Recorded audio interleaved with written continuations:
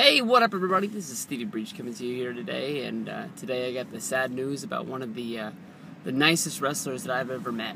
Uh, that was uh, Hernandez uh, getting released uh, from TNA, or just basically his contract running out and them not re-signing it. And you know, within the last week, we've heard names like Christopher Daniels, we've heard Kazarian.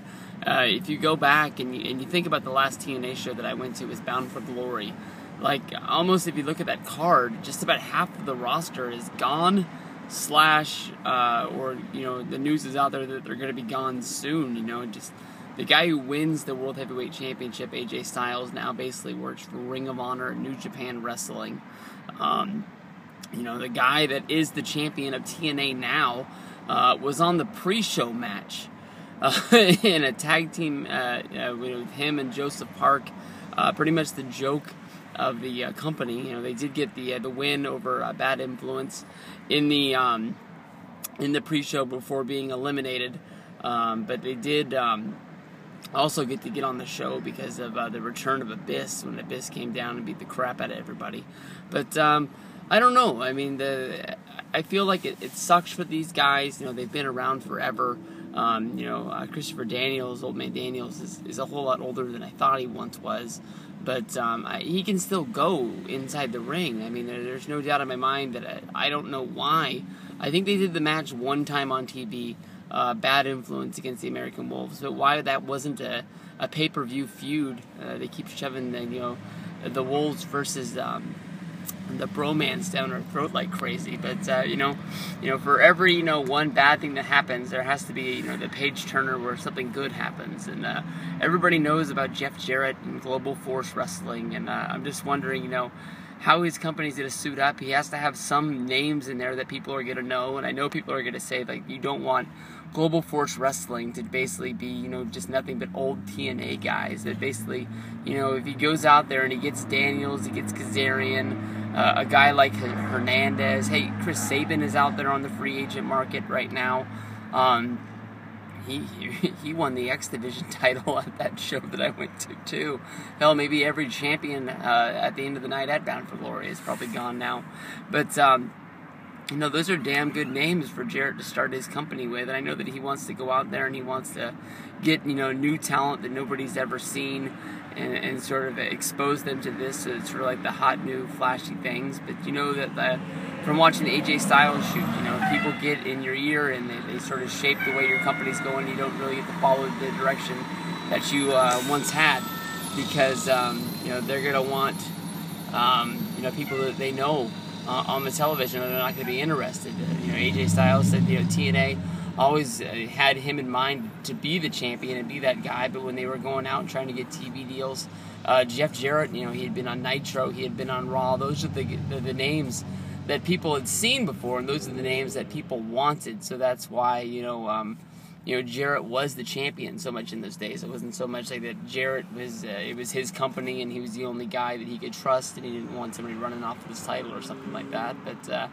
you know, it is, you know, shocking that these big names have left, uh, you know, TNA, you know, what are they going to be sooner than later? And there's the stories that, that, have come out over the past week with, um, you know, the um, production people weren't getting paid, so they threatened to walk out mid uh, tapings. Uh, I think they did the last set of tapings in Orlando, if I'm not, not 100% sure, and just, um, you know, nobody knows, you know, who's coming and who's going and what's going on. Your pay per view is built up, you know, around uh, MVP versus Eric Young.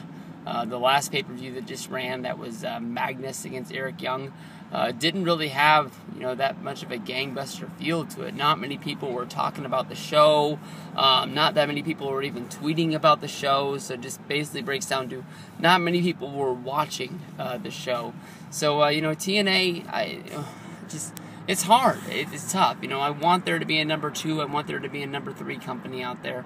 I don't want this to get swallowed up because, you know, I still want, you know, a guy like Bubba Ray Dudley to still have a place to wrestle where I can see him on TV. Um, you know, MVP is a guy that I'm a fan of. I just really can't get behind him in TNA for some reason, and I'm trying. Um, I would like to see a guy like John Morrison get a break and be on TV somewhere. So, uh, you know, we'll keep pumping our fists. We'll keep seeing what's going down. But um, you know, all these names that are leaving uh, TNA is is shocking.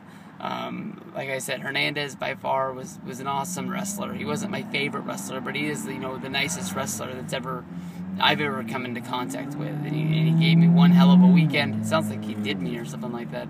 But, um, you know, just for uh, to, to, hang out with a wrestler, it just, you know, blows your mind. You, are probably never going to get that chance to ever do something like that again. So, um, you know, you know shock, shocking to see him go. Daniels and Kazarian were an awesome tag team, whether they're heels and we were supposed to hate them or not. But uh, you know they always had good matches. They always knew just how to catch your attention and make you boo them and make them make you hate them. Um, it's just a shame that we didn't get to see them go up against the American Wolves. And you know, TNA does have talent. You know, how can you you know if guys like Eddie Edwards, guys like Davey Richards, um, those are big names. It sucks that, WWE didn't want to keep them around. If you, you want to say they're small guys or vanilla midgets or whatever you want to say about them, but uh, they have a bright future in wrestling wherever it ends up being.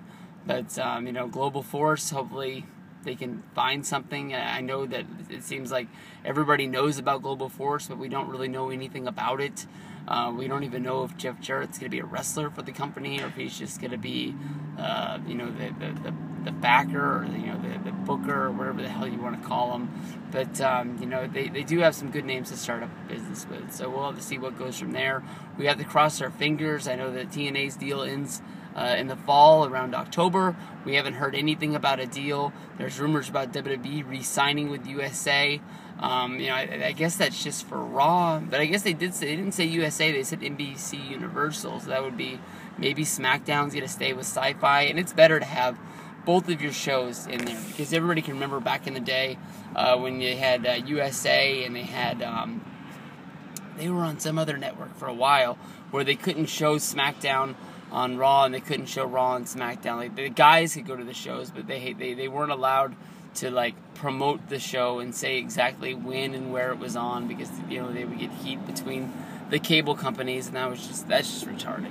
Just be able to say you know catch uh, you know Friday Night SmackDown, Sci-Fi, you know eight o'clock or whatever the hell it comes on, and uh, just go from there. But uh, this is Stevie Breech. Peace out. Much love to Hernandez. You're my bro.